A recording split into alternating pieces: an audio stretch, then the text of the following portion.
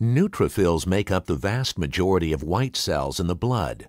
These cells, along with monocytes, can engulf microbes by a process called phagocytosis.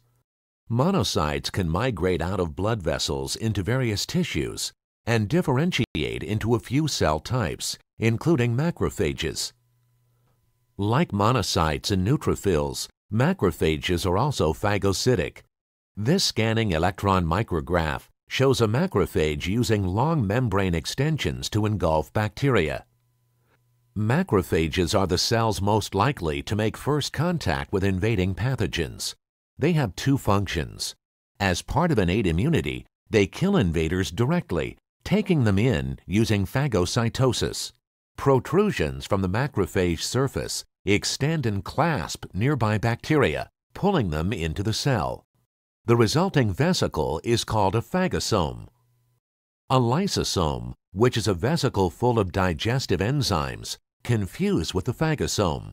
Inside the resulting phagolysosome, the enzymes cleave macromolecules and generate reactive oxygen species, destroying the organism.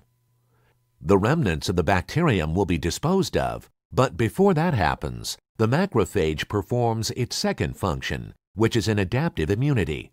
Membrane protein structures made in the cell called major histocompatibility complexes participate in the first step of adaptive immunity. Small bacterial peptides serve as antigens that can be placed on the major histocompatibility complex. The complex is then delivered to the cell surface, where other cells of the immune system can bind to the displayed antigen and become activated. Thus, macrophages are considered antigen-presenting cells.